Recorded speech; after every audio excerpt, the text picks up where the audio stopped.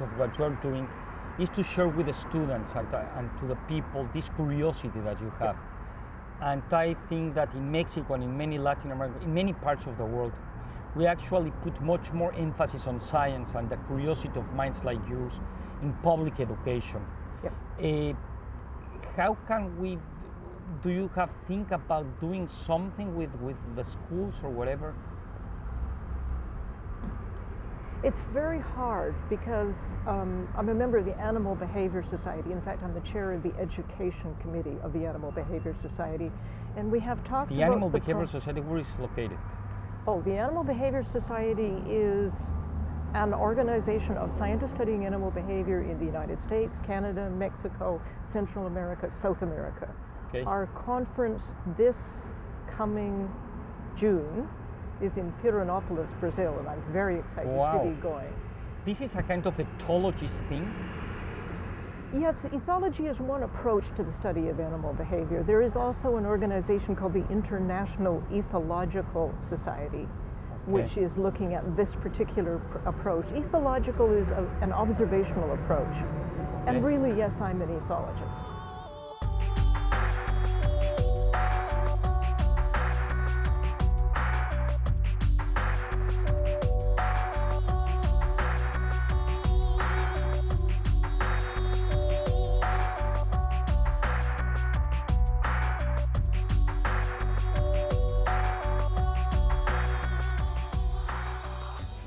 In this society, in this organization that you have, you have like a special or particular emphasis of how to promote science, how to help kids to have this curious mind or something like that. Yes, if you looked up our website, which I believe is www.animalbehavior.org, you would find information about how to go to graduate school in science. You would find information for the general public about things that people have found lately in animal behavior, information about our conference. You would find many things there. I will look at. And, will look at and it. what is for me like amazing is the combination of your background, you know, biology and psychology, eh, which eh, which is a very rich combination, a very unique combination. What could you tell us about that? Uh, well, that richness to understand and define a problem basically, basically in terms of behavioral behavior of, of animals and human beings. I think you're right, and it wasn't on purpose that I got this background, it was accidental. But I think you're right because the biological background has brought me the understanding of the animal and the ecosystems and the adaptiveness of the behavior. And the psychological approach has brought me the tools to ask specific questions and the whole background of okay, we know we're intelligent, we know we have consciousness, we know we have personalities. Gee, can I take the psychological questions and bring them to an animal that usually only biologists think about? And I think you're right that the richness of this background is very good. It takes a long time to get that kind of background, but Sure. I'm glad I have it. No, and we're very glad to have had a chance to interview you. Thank you very much. I hope to see you in Puebla.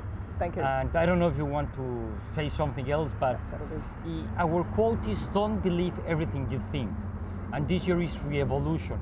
Could you say us something, what comes to your mind if you're talking to the audience and I tell you, don't believe everything you think about, Slimy octopuses. okay, great. What do you think we believe that we think and it's not true?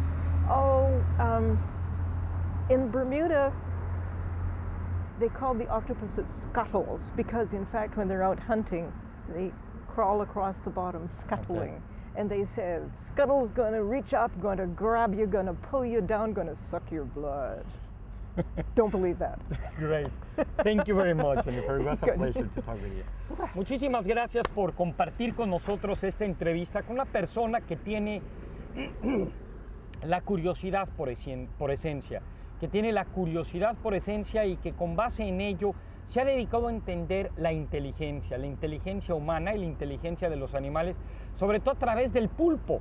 Y en un año, en un año que vamos a celebrar, que vamos a festejar el nacimiento de Darwin después de 200 años y 150 años de su gran obra del origen de las especies, de manera resumida así se intitula, pues bueno, es un honor tenerla aquí en su programa La Ciudad de las Ideas un programa, un proyecto realizado por Poder Cívico. Gracias por estar con nosotros.